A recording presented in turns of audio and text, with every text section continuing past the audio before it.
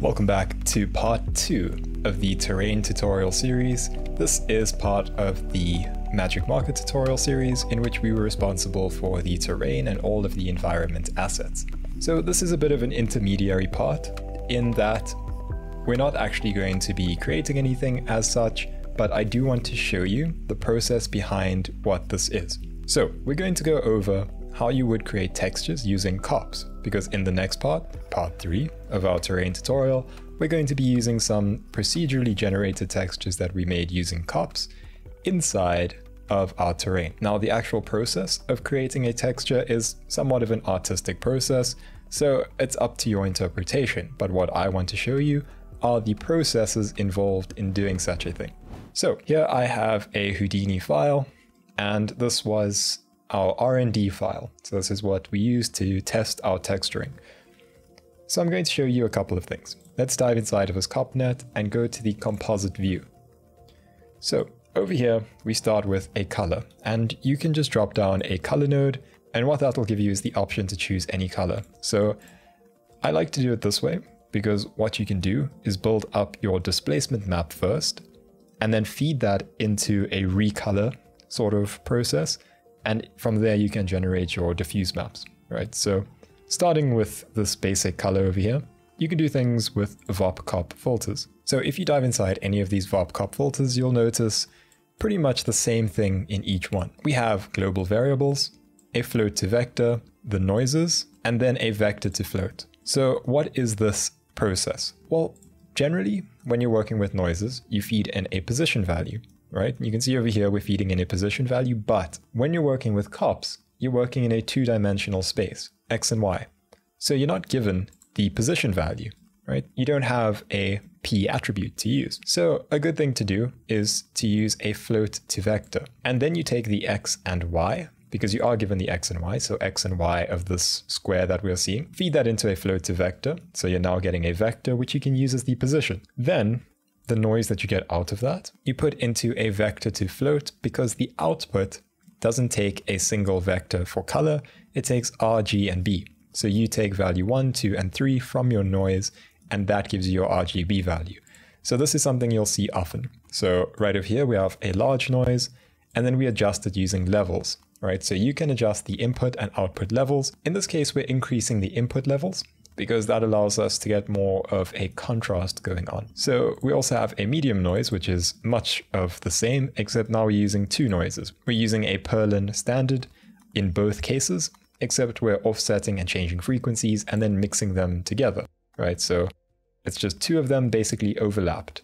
And you do the same thing where you convert that noise into your color. So then you run that through levels as well, and it gives you a better contrasted noise, and then you multiply these two together. So you're multiplying your large noise by your medium noise, and you're getting this. So this multiply node over here has some options. In this case, these are the defaults. Now what this allows is basically what you would do in Photoshop, right? This is the layer operation. You're taking one layer, you're taking another layer, and you're combining them in one way or another. So over here, we also have clumping. As you can see, it's just these small pieces and this is done with, once again, more unified static noises. You can see it's Perlin on every single one of these with very high frequencies. We're then fitting them, so we're pushing up things like the source min to remove any low values. So you're only getting the upper end of the values. So that's something that the fit is useful for. It's for cutting out certain areas of a range. We also have this one down here, multiply them all together and you get a very high contrast, interesting looking effect. You output that once again. Put that through levels, give it a bit of a blur, and comp them. This time, we're not multiplying. This time, we're just using over. Now, the over operation is just putting one on top of the other, and each one has a particular weight. So as you can see, you can make it so that only the one actually does anything, but we push this quite far up over here. So a reasonably high value, but you can see some of the detail coming through. So that's just a minor detail thing. Then over here, we've got cracks. And this is something that's pretty cool about cops, is that there are many ways of generating different shapes and different patterns. And if you go inside of here, you'll see that we do the same thing. You're taking your X and Y, feeding it to a float to vector to fake a position, feeding that into what would usually be your UVs in this case, and then we're using the crackle. So we're getting this interesting shaping over here, vector to float to set it back to a color, and then levels, we're really pushing up the low end, expand to make these lines thinner, and to break them up a bit, then blur that, and composite. This composite we're multiplying again. So multiply works in that if you have a light area and you're multiplying it by a light area, you will get a light area. But if you've got a light area and you're multiplying it by a dark area, you'll get the dark area. So why that's useful is that if you have this crackling like this, and you multiply it over here, you can see that sort of crackling. And it sits under the rest of the noise, right? So it adds a bit more detail. Now, this is where things get pretty interesting. This over here. As you can see, these look like rocks, right? It looks like we have rocks sitting on our image, and that's because we do. So over here we have this rocks and twigs area. Now you'll notice that it is a SOP import, and it's importing from a particular place and coming through as a black and white image, right? And we have a couple of these, each one is a bit different. So how do you make these? And how is this procedural? Well, this clearly isn't a noise. This is coming from a SOP network. So we can take a look at this. If we dive into the SOP net, you'll notice that over here, we have a switch node with some stamping. So we stamp the different types of geometry and copy them to points, right? So we're copying some of these little rocks to points. And then you take a height field. So you've seen this before. In part one, we use the height field to actually create terrain. In this case, we're using the height field project to get this. We're projecting all of these rocks onto a height field, and this height field can be fed into the COP network.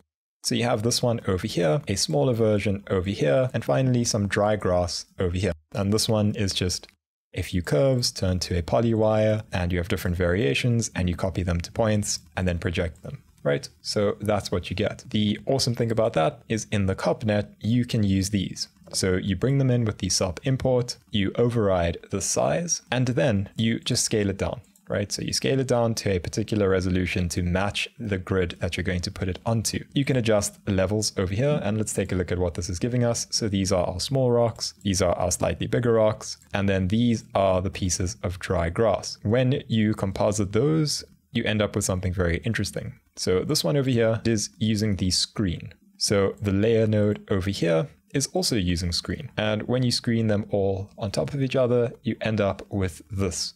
So a very interesting looking texture. You're fetching a lot of your detail from these noises and then filling in any sort of details that you can't fake with noise by actually SOP importing in geometry. And so you end up with this, and then we crop it, and this is basically the displacement. So you have your ground displacement out, and you can just use this as a displacement, and it will work perfectly fine. But that's not all that you would want from this. You would also want your roughness. So you get your roughness by putting this through levels, and you can sort of fake this. Maybe you think that the rocks are rougher, so you do this and you put it through levels, and that gives you a roughness out. Then over here, what you want to do is actually give this a color. So now you're taking this null over here with your noise and feeding it into this COP network. Inside of here, once again, we're doing that whole noise thing and you're ramping just with a color. And so this is your base color. And the only reason that this is connected is actually to get the size because this isn't actually being used. There is no relation between this image and this over here. The only relationship is the size of this square.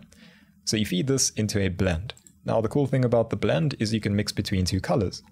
So you mix between this base color and this rock color over here. Once again, this is a constant color, which is exactly the same as the white that we started with. So the blend takes one input, a second input, and it blends between them based on a third input the third input being this over here. So now you can color the rocks separately. So that gives you this. And once again, you do the same thing, but this time with the twigs or the dry grass rather. And then you do the same thing with the last rocks, just like that. And these ones are a bit different in that what you're doing is you're taking a color, you're putting it through a noise, you're driving levels, and you're using this as the second input. And what that results in is rocks that have variation on them. So you can see that each rock looks a bit different, right? Each one has a slightly different color. And then that is your diffuse out. The only other thing that you would do is use this ROP comp and you would just save this out. So you save this out somewhere on your computer, output picture, and you just take the color plane C, right? C is color, and you take your alpha, and that's that. So that is the idea behind a COP texturer. So you can texture using COPs and end up with a displacement map, a roughness map, and of course your diffuse map. And all of this is procedural and done in Houdini. The reason we did this was actually a proof of concept. We wanted to see what sort of quality textures we could get just using the native functions of Houdini, the native built-in noises and options for cops. And it turns out you can get some decent results. So that's all for this part. This was just an intermediary part. And so I hope that you can take away a few little tips from here and use it to build up your own textures. So that's all for this tutorial, and I will see you in part 3 of the terrain tutorial. Thanks for watching. Bye.